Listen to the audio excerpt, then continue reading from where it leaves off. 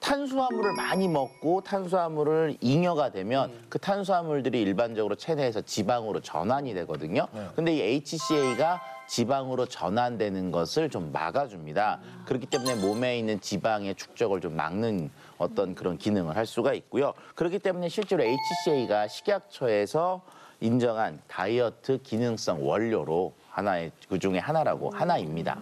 그러면 이 히비스커스에 HCA란 성분이 어느 정도 들어있는 네, 거예요? 그걸 제가 좀 설명을 드리면 히비스커스 꽃잎 100g당 최대 23g의 HCA가 함유되어 있다고 합니다.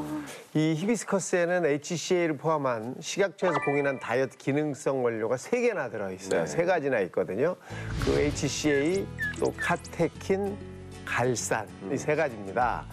카테킨과 갈산은 지방을 분해하고 흡착해서 우리 몸 밖으로 내보내고 지질 대사를 활발하게 해서 콜레스테롤과 혈중 지질을 낮추는 그런 역할을 해주고요.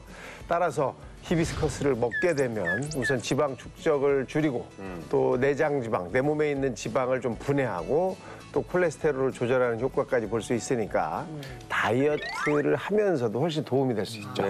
그 이런 히비스커스의 다이어트 효과를 입증한 실험 결과가 있는데요.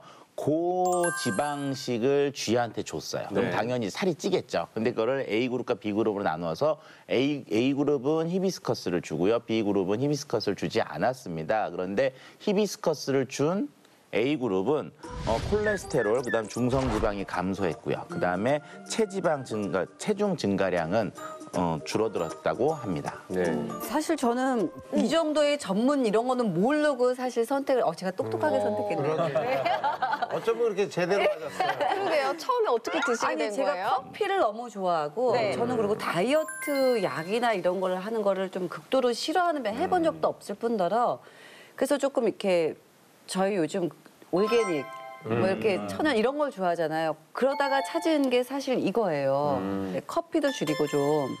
하루에 세 잔 먹을 거 두 잔 먹고 저녁 때 이제 이 차로 제가 이제 마시면서 그걸 줄이고 카페인도 없다고 하니까 그래서 마시기 시작했는데 좋더라고요 저는. 아니 그러면 이 히비스커스가 정말 카페인 걱정을 안 해도 되나요, 교수님? 예, 맞습니다. 그 히비스커스에는 카페인이 없습니다. 그렇기 때문에 최근에는 이 커피를 대신하는 어떤 건강 음료로서 많이 이제 알려지고 있고요. 네. 뿐만 아니라 다이어트에 도움이 되는 성분 외에도 비타민과 미네랄, 그다음에 피토케미칼 성분들이 또 많이 들어있기 때문에 어, 거- 다이어트뿐만 아니라 건강에도 많은 도움을 도움이 되는 음료입니다.